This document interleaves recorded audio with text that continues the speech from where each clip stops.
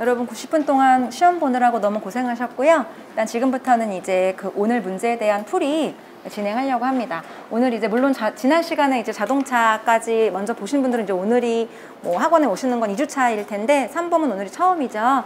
그래서 어, 다들 이제 반응이 일단은 뭐 매우 뭐 쉽거나 이러진 않았다. 시간이 좀 부족하다라는 얘기가 조금 있었고요. 여러분들 아시겠지만 이제 모의고사는 아까도 말씀드렸던 것처럼 여러분이 시험 보기 전에 한번 이 현장에서 분위기를 좀 보고 아 이렇게 열심히 하는 분들 많구나 자극도 받고 또 현재 나의 위치도 파악하는 그런 시간이기 때문에 어떻게든 간에 그 시간 안에 뭐 하나라도 쓰겠다라는 심정으로 음, 최선을 다해서 해주신다면은 이제 아마 5주의 모의고사를 겪고 나시면 어, 충분히 실전에서 떨지 않고 잘 쓰실 수 있게끔 좀 실력이 많이 향상이 될 거라 생각합니다. 아시겠지만 이제 원래 시험의 그 진짜는 정말 사실 마지막 마지막 스퍼트예요. 물론 그동안 잘 해오신 것도 있지만 사람이 원래 조금 몸이 그 반응을 하는 게 뭔가 쪼여오고 힘들고 이럴 때 좀 올라오는 에너지들이 있잖아요. 그래서 지금부터 여러분 최선을 다하시면은 분명히 좋은 결과 있을 거라고 보고요. 뭐 이제 어쨌든 간에 여러분 여기서 뭔가 하나라도 얻어가려고 오신 거니까 좀 그럴 수 있도록 저도 많이 도와드리려고 합니다. 일단 강의 시작하기 전에 오늘 뭐 강의 시간 전에 제가 한번 말씀을 드렸지만 그 문제에다가 반드시 그 문항 번호를 잘 써주셔야 돼요. 문항 번호. 문항 번호를 쓰시되 꼭 순서대로 할 필요는 없습니다. 이제 순서대로 반드시 하실 필요는 없다. 대신에 이걸 진짜 정확히 쓰셔야 돼요. 제가 이거를 왜 자꾸 말씀드리냐면 어, 채점을 하다 보면 10% 정도는 문항 번호를 정말 엉뚱하게 쓰시는 분들이 있어요. 실제로. 근데 그렇게 되면은 제가 말씀드렸죠. 문항 번호를 엉뚱하게 쓰면 그거는 아예 나, 점수를 날릴 수도 있는 거라고. 다만 아무리 뒤죽박죽 순서가 달라도 문항 번호만 정확히 쓰면 심사위원 다 그걸 채점을 하게끔 돼 있기 때문에 반드시 그 문항 번호 특히나 오늘처럼 뭐 1-1, 1-2좀 소분화된 문제들은 더 정확하게 문제 번호를 써주시고 그리고 이제 그게 뭐 1-뭐 3번을 제일 마지막에 쓰셔도 괜찮다. 번호만 명확하게 쓰시면 괜찮아요. 그리고 또 이제 오늘 얘기를 하셨던 것 중에 이제 그 시간 배분을 어떻게 해야 되는지에 대해서 또 많이들 얘기를 하시더라고요. 어, 4점짜리 문제도 있고 20점짜리 문제도 있어요. 그럼 여러분 어디에다가 투자를 많이 하셔야 돼요? 당연히 20점짜리도 하셔야 되죠? 그렇기 때문에 4점짜리 문제를 이게 내가 아는 거라고 여기다 아는 티를 아무리 많이 낸다고 어, 요거를 한 장 쓰고 두 장 쓸 필요는 없는 거란 말이에요. 어차피 거기는 아무리 많이 써도 100점이 4점이에요. 아시겠죠? 그래서 이제 뭐 간혹 가다가는 뭐라도 많이 쓰면 하나라도 더 쓰면 이제 그래도 뭔가 이런 심사위원이 그거에 감동을 해가지고 조금의 점수를 더 줄 수 있지 않을까라고 생각하실 수도 있는데 제대로 된 걸 많이 써야 점수를 받는 거지 전혀 엉뚱한 걸 쓰면 그거는 점수를 줄 수가 없죠. 그래서 내가 뭔가 굉장히 열장 꽉 채운 것 같은데 어떤 분들 생각보다 점수가 안 나오고 이런 이유는 한마디로 출제자가 물어보는 건 A라는 건데 나는 B라는 걸 쓰는 거예요. B라는 걸 아무리 뭐 한 장, 두 장 쓴다고 해서 그게 부분 점수가 나갈 수는 없는 것처럼 정확히 문제 파악을 하시고 배점에 맞추어서 예, 이왕이면 전략적으로 내가 좀 더 먼저 풀 수 있고 조금 배점이 높은 것들 위주로 좀 풀어 나가시는 필요가 있겠습니다. 그리고 또 이제 어차피 어차피 모의고사 풀이는 뭐 문제 개수가 많지 않기 때문에 시간이 조금 있어서 제가 말씀드리자면은 어, 공부 방법에 대해서 지금 되게 많이 고민을 하는 시기일 거예요. 왜냐면은 우리가 지금 여기 저를 뭐 처음 만난 분들도 있겠지만 많은 분들이 저희 인스 학원의 커리큘럼을 그대로 하셨다면 과정이 총 네개나 되잖아요. 기본 강의부터 그리고 선행, 그리고 문풀, 지금 마지막 모의고사까지. 지금 뭐 이 한 과목만 해도 굉장히 자료가 많이 쌓여 있을 거예요. 그런데 이 시점쯤에 여러분들이 가장 많이 흔하게 범하는 실수 중에 하나가 마음이 불안하니까 여기서 자료를 자꾸 추가하려고 한다는 거예요. 뜨끔하시는 분들 꽤 있을 텐데 아마 지금쯤 되면은 손꿈사 같은 카페에 아마 그 모의고사 공유 관련해서 엄청 많이 글이 올라오는 걸로 알고 있어요.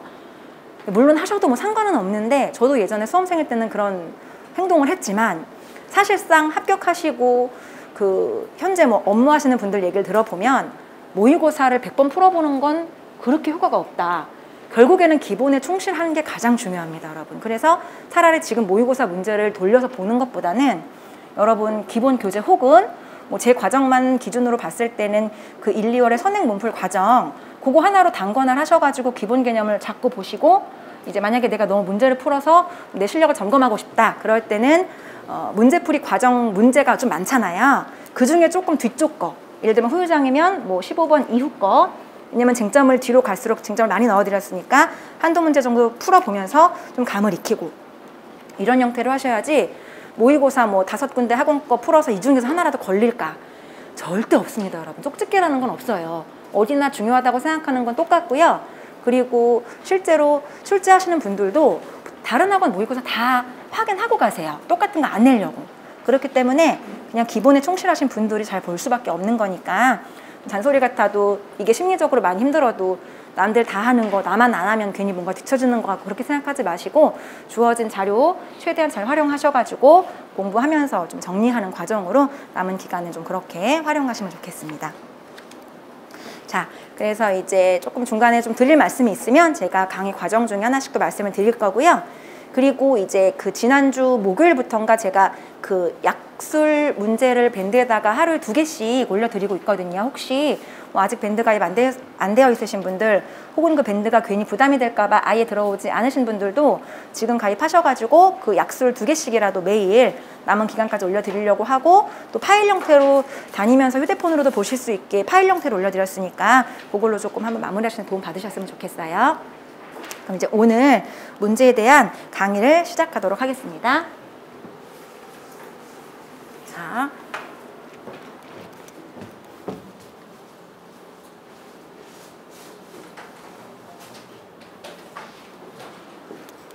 자, 일단 여러분이 오늘 첫 번째 문제를 보시고 제가 이제 지난번에 그 문풀 마지막 시간 때도 말씀드렸는데 앞으로는 아마 뭐 우리 3번뿐만이 아니고 모든 과목이 뭐 의학 정도는 빼, 빼고 나머지는 주로 대부분 이제 아마 단순히 뭐 예를 들어서 성약의 철회에 대해 쓰라 이런 문제가 나올 가능성은 거의 없을 거다. 앞으로는 뭐 작년 문제처럼 뭐 이슬과 심순에 나온 거 기억하실 거예요. 기출문제 보신 분들은 그런 것처럼 뭔가 사례를 보고 이게 과연 약관 조항에서 뭘 물어보는 건지 이제 좀 사례 형태로 묻는 문제가 앞으로는 줄을 이룰 겁니다. 그래서 이것도 여러분이 아마 답안 보셨으면 아 이거 개정된 거고 중요한 거라고 말씀드렸기 때문에 다 아는 알고 아마 안 가셨던 내용일 거예요. 근데 이게 다만 이제 사례로 나왔기 때문에 이 사례를 보고 야권에 뭘 적용을 해야 될지 아마 조금 고민하는 시간이 있었을 것 같고요. 한번 보겠습니다. 여기서 하나 눈에 띄는 게 여기 지금 여러분들 문제를 보세요. 제가 이거를 PDF로 해와, 해오는 바람에 지금 이동이 좀 쉽지 않으니까 일단 문제를 같이 한번 보면서 보겠습니다. 이게 지금 야권 개정 우리 문제에 제가 2022년 2월 16일이라고 써드려서 어? 뭐 개정된 거 못 또 있나? 놀라셨던 분이 꽤 있는 것 같은데 요거는 제가 문풀 과정 중에 한 번 딱 언급해드린 적이 있어요. 이게 원래 지금 현재 대부분의 약관 우리 작년에 2021년 7월 1일 개정 요거 기준으로 지금 다 공부하고 있거든요. 그런데 우리 아직 금융감독원에 이 내용이 올라가진 않았지만 실제로 이제 4월 1일 날 개정해서 이게 시행이 되고 있고 실제 모든 보험사 약관에서 이미 반영이 돼서 판매가 되고 있습니다. 표준 약관이 바뀌었다는 얘기예요. 근데 너무 다행히도 바뀐 거 딱 하나 있습니다. 많지 않고 딱 하나예요. 뭐냐면 우리 만기 환급금 관련해서 이자 기억나시죠? 우리 작년에 이자 문제 나왔었는데 보장보험금에 대한 이자가 나왔었고요. 만기환급금에 대한 이자는 아직 문제 안, 나왔었, 안 나왔거든요. 이 만기환급금 이자에서 요게 1년 이내 그리고 1년 초과 이렇게 두 개로 구분되잖아요. 다른 건 바뀌지 않았고 요것만 바뀌었습니다. 원래는 요게 1%였습니다. 근데 요게 대출이율, 보험계약 대출이율에 보험계약 대출이율 아 죄송해요. 평균 공시율. 평균 공시율. 평균 공시이율 네, 40% 이렇게 바뀌었어요. 요거는 평균 공시 이율의 50%였죠? 요거는 그대로고요. 요것만 1년 초과일 때 요 이자만 1%에서 이렇게 평균 공시 이율의 40%로 요거 딱 하나 변경된 거니까 혹시라도 시험에서 어, 질병상해보험 표준 약관에 대한 뭐 다음 문제에 다, 답을 하라. 근데 그 혹시 기준이 2021년도 7월 1일이라면 여러분 당황할 일이 없을 텐데 혹시라도 이렇게 2022년 2월 16일 개정이라고 나오더라도 전혀 당황하지 마시고 바뀐 거는 요거 딱 하나밖에 없다. 다른 거는 전혀 바뀐 게 없습니다. 이거 하나 정도만 여러분 알고 계시면 될 것 같아요. 요거 하나 정도만 이제 메모해 놓으시면 좋겠습니다. 평균 공시율이 40%, 1년 초과인 만기환급금에 대한 이율이 이렇게 바뀐 거예요. 아직 금융감독원 홈페이지도 올라와 있지 않은 사안이라서 저도 사실은 누가 질문을 해주셔가지고 찾아보다가 알게 됐어요. 개정된 것을. 그래서 알고 계시면 될 것 같습니다.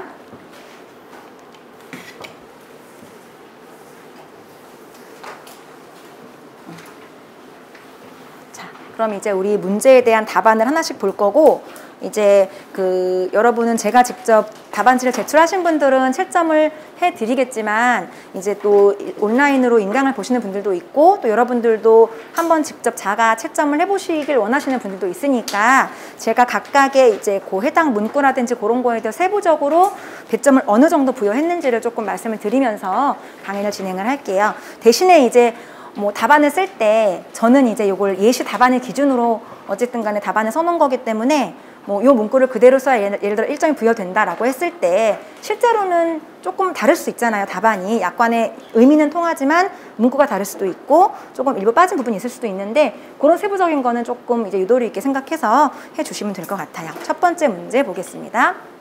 문제를 같이 볼게요. 먼저 자 일단은 결혼을 앞두었습니다. 결혼을 앞두고 본인과 배우자 기존 가입 중이던 보험 점검 그리고 신규 가입을 위해서 여기서 이제 주요 키워드를 잡자면 인터넷 보험 비교 견적 사이트를 통해서 상담 신청을 한 거죠. 보험 가입을 할 때 어떤 방법으로? 통신 판매 방법으로 한 거예요. 대면이 아니라 인터넷 계약으로 보험 가입을 한 것입니다. 이에 그 김일랑이 담당 설계사를 통해서 보험회사의 상품을 권유를 받았어요. 그로 이제 보험 계약을 체결하려고 할 때의 각각의 질문입니다. 자, 첫 번째는 청약을 하고자 할 때 약관 교부 의무를 이행할 수 있는 방법. 요거는 제가 워낙 중요한 거니까 2021년도 7월 1일, 1월 1일에 요 내용이 개정된 게 있고 추가된 게 있으니까 꼭 암기해 두셔라 라고 말씀드렸던 거라서 아마 잘 쓰셨을 거다라고 생각을 하고요. 자, 여기서 내용을 보면요.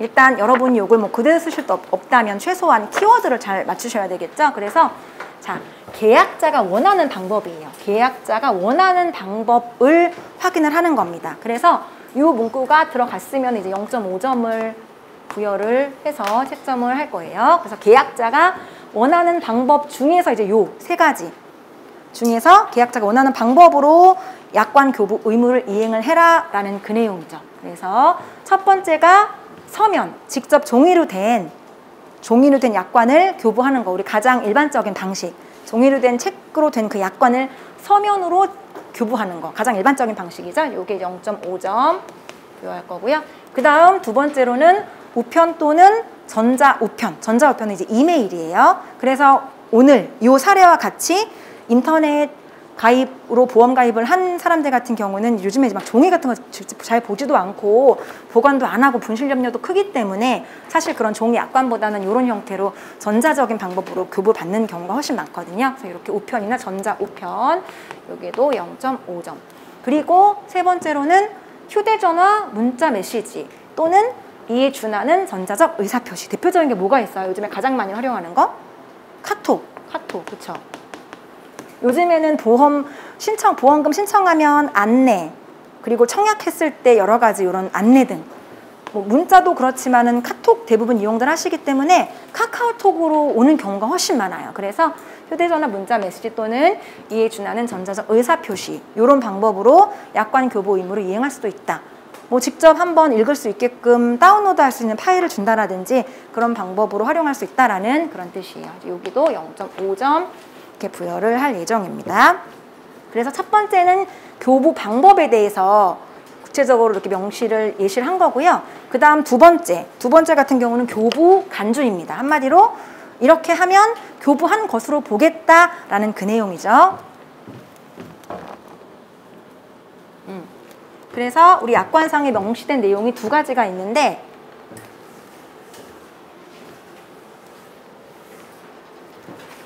아, 세 가지 여기 교부 간주가 지금 어, 두 가지 맞습니다. 그래서 교부 간주 방법 첫 번째가 회사가 전자 우편 그리고 전자적 의사 표시로 제공한 경우 이제 아까 위에서 말씀드렸던 뭐 이메일과 같이 그런 전자 우편이나 전자적 의사 표시로 제공한 경우 교부 간주로 본다라는 것이죠.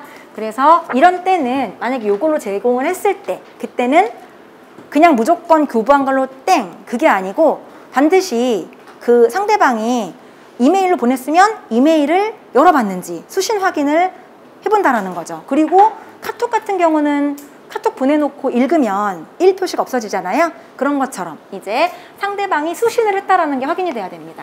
수신 시에 해당 문서를 드린 것으로 본다. 이게 이제 교부 간주 규정이고요. 근데 여기 요 항목에 대해서 이제 1점 부여할 예정입니다. 그 다음 두 번째로는 전화로 가입을 했을 때예요. 전화 판매 계약.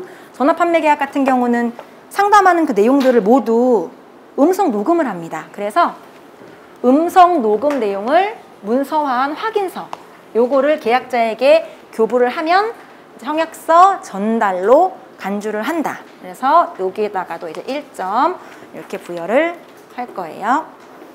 요게 지금 4점짜리 이제 문제이죠. 여기서 이제 좀 아는 거 나왔다고 또 엄청 뭐 이것저것 많이 부연 설명해서 굳이 쓰실 필요는 없다라는 그런 내용이에요. 이것 또한 4점이지만 좀 이게 만약에 예를 들어서 너무 그 목차가 많다라고 생각이 드시면 뭐 요 소제목을 그냥 각각의 문장으로 하나씩 표현해 주시는 것도 괜찮습니다. 여러분 연습하실 때는 그거에 맞춰가지고 해주시면 되고요. 다음 이제 1-2번 문제로 넘어가 보겠습니다.